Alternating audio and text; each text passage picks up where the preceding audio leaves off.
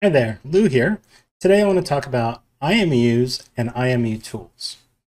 IMUs are a staple in robotics. They allow you to understand your relative motion in space, which is something that is really useful if you're trying to determine whether motion that you're detecting with other sensors is because the environment's changing or because you're changing. So let's talk a little bit about IMUs. First, what is it?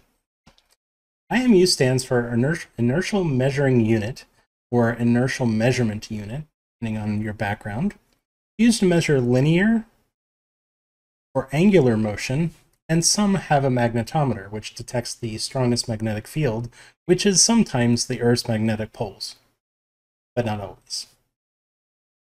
Someone once asked, how am I connecting these sensors to the SparkFun Jetson? So first, we're actually using Qwiic connectors. Now, Qwiic is something that was developed by SparkFun around this this micro micro connector, uh, and it is pass through. So most sensors actually have two connectors on board. You can connect it with a Qwiic connector, and then there is a PI header that is compatible with the Jetson, and it has connectors on board so that you can connect your sensor. In fact, here's the IMU itself.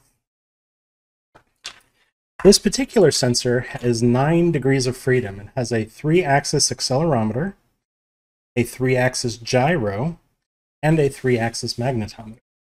And for calibration reasons, it has temperatures that it, temperature that it does expose uh, through its API. You can buy this particular board on the SparkFun website. SparkFun does provide an Arduino library for it, which is what we're going to be using in our ROS node. Now, for transparency, this chip does some really interesting things. It does something called clock stretching, which means that on the I squared C bus, it can actually say, hold on there, CPU, I'm taking my time doing something, and I'm going to prevent you from sending me data. This doesn't actually work very well on the Jetson or Raspberry Pi. Although there are workarounds, they kind they can negatively impact other sensors on the bus, so I'm not actually going to be using the features that require clock stretching. That specifically means that we're not going to be using some of the advanced off-board processing on this chip. We're going to have to do that locally. But fortunately, we have a workaround. City College Robotics of New York has produced a set of tools called IMU tools. Not only do they provide visualizations for IMU and magnetometer, but they also have a filtering ROS node, which can interpret raw data that we're going to be publishing from our ROS node, turn it into something more useful by using sensor fusion, monitoring it over time, and generating more specifically the orientation vector. This is now supported on Windows, uh, so you can use it on Windows or Linux. So for this ROS node that I provided, the ROS Qwiic ICM 2948, it uses the, the SparkFun Arduino library, imports it using the wiring for ROS, and publishes an IMU message and a magnetic field. These are published on the slash IMU topic, so IMU data raw or IMU mag, and those are customizable. The IMU message itself has a orientation quaternion plus angular velocity and linear acceleration. Now, quaternions could be an entire topic by itself, but just know it, it is a representation of a rotation. So the orientation vector and a rotation around it, angular velocity, and uh, sorry, ang angular velocity and linear acceleration. Plus, we're also going to provide a magnetic field in a three vec uh, uh, vector three.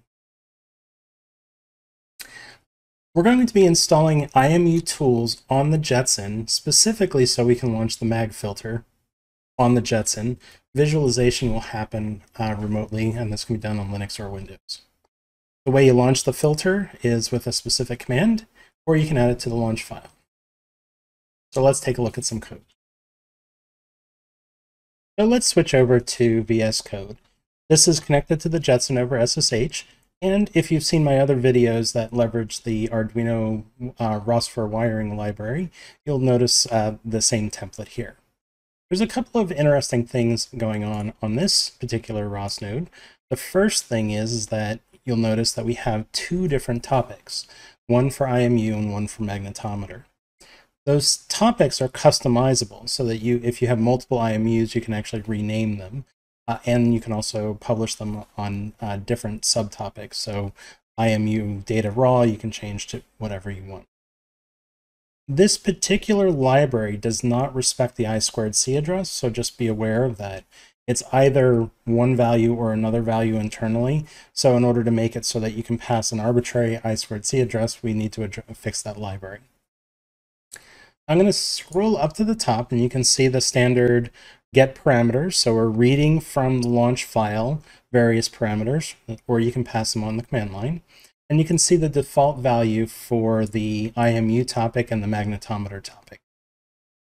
We're going to go ahead and start wiring and use the ICM library from SparkFun, just like you would do from an Arduino. We'll create two publishers. The first publisher is actually going to publish on the IMU topic with the sensor message IMU data type. And the second one is the magnetic field. And we're going to pull the sensor for information every 15 milliseconds or so. That's also customizable.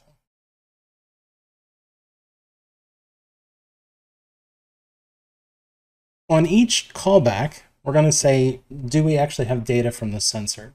And that's what this get uh, data ready command is do I have actually any data? If we do have data, we need, actually we need to process it. So we call out to the SparkFun API that says go ahead and call the talk to the sensor and read the data. Now our job in the ROS node is to take this raw data from the sensor and turn it into something that ROS can uh, process. The IMU message has very specific uh, types for or the specific units for the various components of that message. The magnetometer on the ICM is being returned in microteslas, so we first have to convert those to teslas. And I have a utility function at the top that actually does that. And then we publish on the magnetometer topic. The second message is the IMU itself. The ICM libraries are in milli-Gs, which we need to convert to meters per second, and there's a utility function at the top for that. And it also returns degrees per second, which we need to turn into rads per second. And there's another utility for that. Once we have that data, we go ahead and publish it. There's actually two other things I wanted to point out. The frame ID for this message is the same for both topics.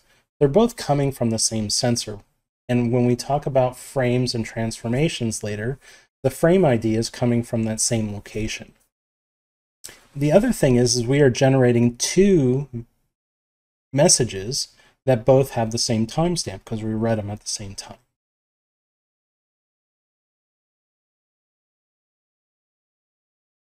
Before we switch over to visualizing the IMU, I'd like to launch the Madgwick filter.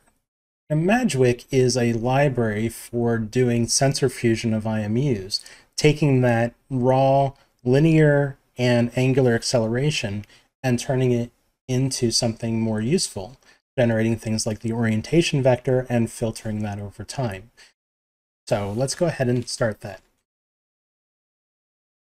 It is part of the IMU tool, so if you've installed it into your environment or built it, you can um, activate the environment or run it directly. So here I've launched the Madgwick IMU filter on the Jetson. Now I'm going to switch over to RViz and show what that looks like. So let's go ahead and switch over to the terminal window. In this workspace, I've actually checked out the IMU tools. So their source directory, and you can see that's been checked out. It now has to activate the environment so that RViz can find it when I launch it. ROS2 run RViz2, RViz2, RViz2 in the RViz package. And let's switch over to RViz visualization. Now, by right now, the RViz is configured to look at the map frame, which we're not actually publishing a map frame because we haven't launched it. But we are publishing on the IMU frame, so let's switch that to the IMU frame. That was specified in our default parameters. If you click the Add button for Add Creative Visualization and scroll to the bottom, you'll see because we've activated the IMU Tools environment, we now have two new visualizations, IMU Mag, or IMU and the magnetometer. I'm going to go ahead and add both. Now these aren't actually subscribing to anything right now, so you can see that they're red. Not sure what's going on. So let's, turns out they're not subscribing to any topic. However, there is one available for magnetometer that doesn't require any filtering. So selecting that,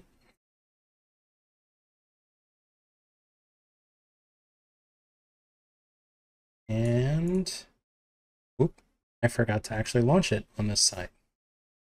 So let's go ahead and launch that.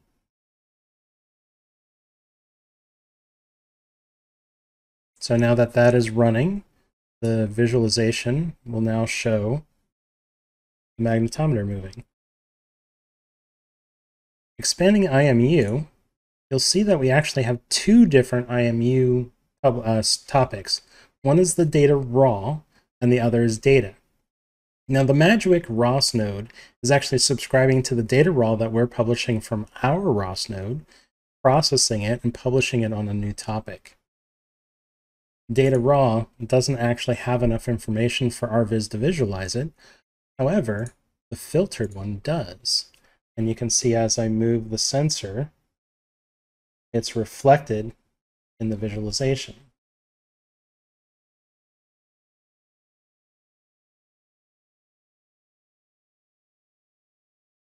That's kind of cool. Now, what if we wanted to do something more? In the previous video, I created a ROS node for a depth sensor. What if I wanted to show that depth data relative to the sensor as if I was stacking them on top of each other? So let's switch over to our terminal window and show what that looks like. I'm opening up a new terminal and using this command ROS2 tf2 ROS, and I'm creating a static transform publisher with a couple of pieces of information. In this case, I'm just saying that the IMU and depth sensor are in the same place, which isn't realistic. But when we talk about transform trees and URDF in future videos, this will make much more sense. So what I'm saying here is, hey ROS, I'm creating a transform that connects these two sensors together. Now, I do have to launch that data, so let's go ahead and switch back to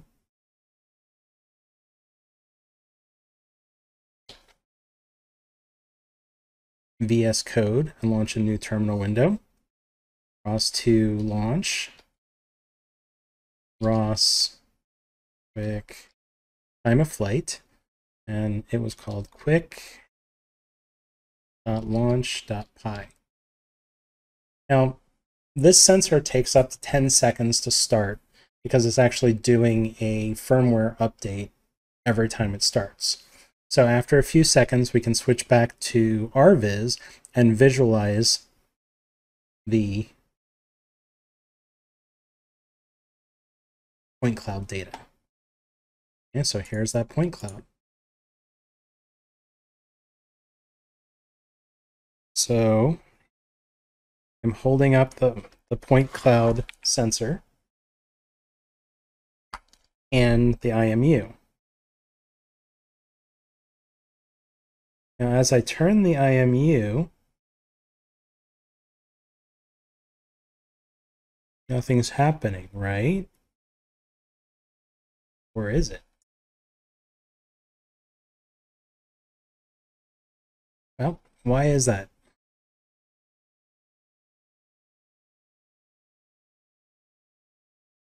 That's because I was using the wrong transform frame. The way the magnet the Madgwick filter works is it actually um, creates a parent frame on top of the IMU called odometry.